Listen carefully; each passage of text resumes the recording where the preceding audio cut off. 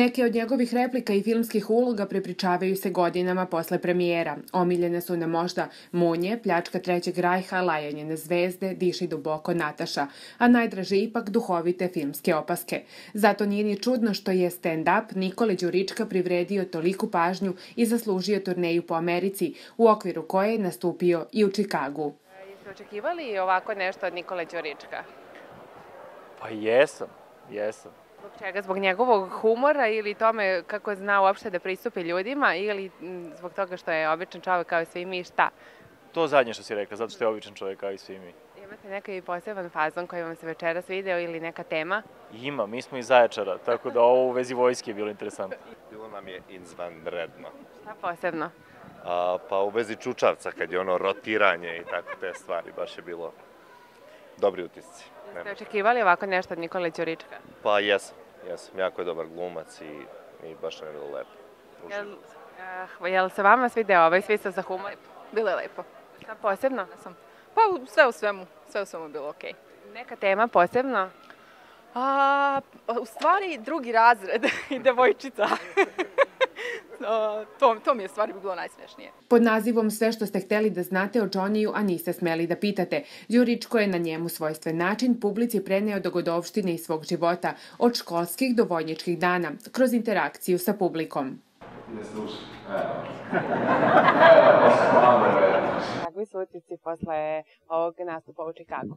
Pa nemam pojma, mislim, najbolje pitate publiku. Vaši prvo, njih smo... Pa meni je super, ja sam se osjećao kod da sam ovaj, kod kuće, zaista. Mislim da, da, da, da baš su lepo reagovali, nadam se da, je, da im je bilo ovaj, zabavno, s obzirom da je vreme nas je malo uh, kiša, pa nije, pa sve, pa onako svima se nešto polu spava, ovaj, ja sam isto malo jetlagiran, ali nadam se da, da, da je bilo sve super, eto. Sala je bila puna, po njihovim reakcijama i komentarima posle predstave možemo da zaključimo da su više nego zadovoljni i očekivali su ovako nešto e, od vas. Jeste se plašili možda u početku kako će reagovati? Jel postoji to nešto u stand-upu ako je početak dobar da će i posle biti dobro ili kako to ide? Zavisi, zavisi, u, u principu zavisi, naravno, bi- bilo je, moje iskustva su sad već i, i onako razna, imao sam, ali u principu mi se čini kogod dođe da, da vidi određe, mene ljudi pretpostavljam da znaju da nisu došli sa kao na pamet, tako da s, s tim u vezi ja sam već bio malo rasterećen, ali zaista ja se osjećam kao da sam kod kuće, pošto nisam imao utisak da sam negde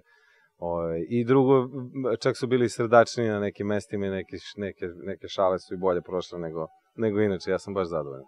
E, pošto ste i na početku rekli naš poznati glumac i oni su sigurno došli zbog toga što ste naš poznati glumac, koliko je i u kojoj meri to neko opterećenje?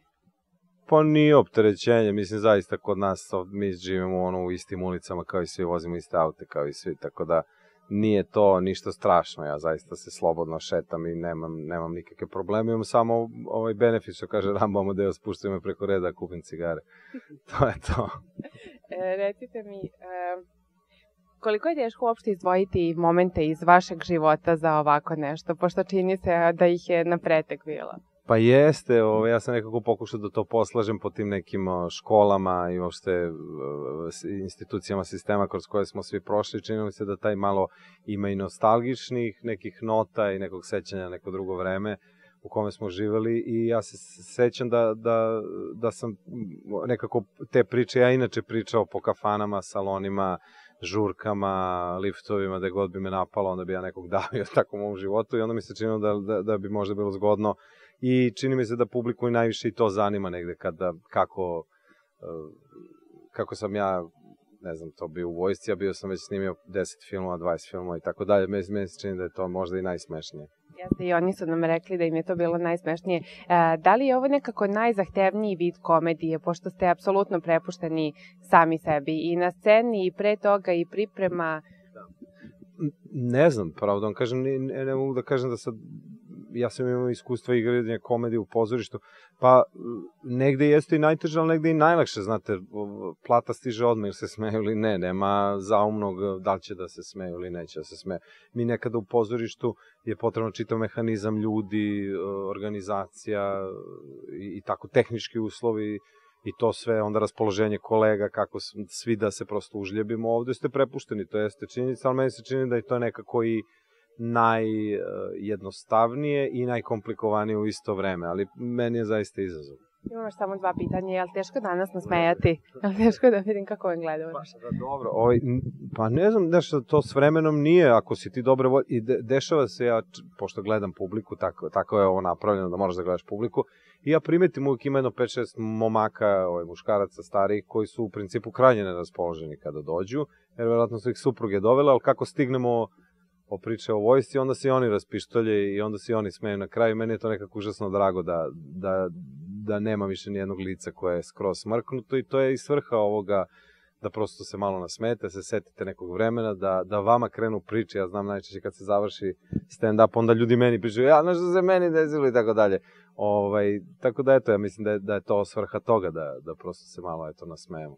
Ja sam isto došla smrknuta i kad se krenuli ona priča sa školom, onda se isto setim nekih momenta. Recite mi još na, za kraj kakvi su vam planovi, još jedno tipično. Da, pa dobro, planovi su, ja idem sada u, u Boston i idem u, u New York i onda idem u Toronto, to je mala, mala mini turneja, tako da ovo, eto, nadam se da će sve da bude super. Ovo je počelo je s Chicagom dosta dobro, ja sam vrlo zadovoljan, nadam se da će ovo ostalo dobro proći. Kad se vratite u Srbiju, šta onda? Pa onda imam nastup 12. maja u Domu sindikata koji se sad zove Kombak dvorana i to mi je ovako naj, najuzbudljivije što će da se desi. Igram u pozorištu Jugoslovenskom dramskom ovaj, uh, slučajna smrt igram anarhisti, igram Hotel Slobodan promet, igram Hotela i tako. Hvala vam puno što ste bili naš gost i što ste izvojili vreme za nas. Nema šta, hvala tebi. Glumačko i baletsko iskustvo su mu pomogli da se odlično snađe na sceni, u šta su se uverili i Srbi u Americi.